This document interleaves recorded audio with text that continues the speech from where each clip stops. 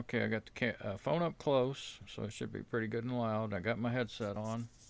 I'm gonna move it out and probably get a little bit quieter. It's kind of hard to tell. I'll turn the phone around. Show me here in my headset that I'm testing. I'm trying to see if I can make this Bluetooth headset uh, record it in open camera.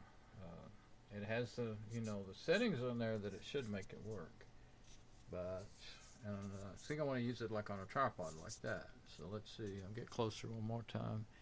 Now, if it's louder now, then that's just the built-in phone mics.